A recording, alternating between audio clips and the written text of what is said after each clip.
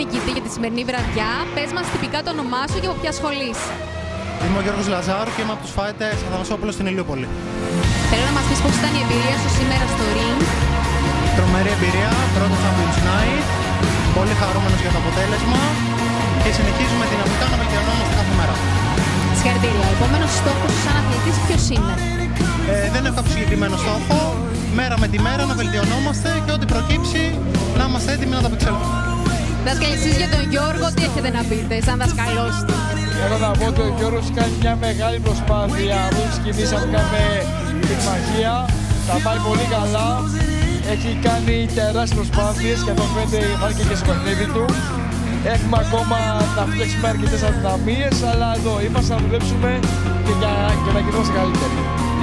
Κι ισανότερα λοιπόν, συγχαρητήρια και σε εσάς δάσκαλοι. Ευχαριστούμε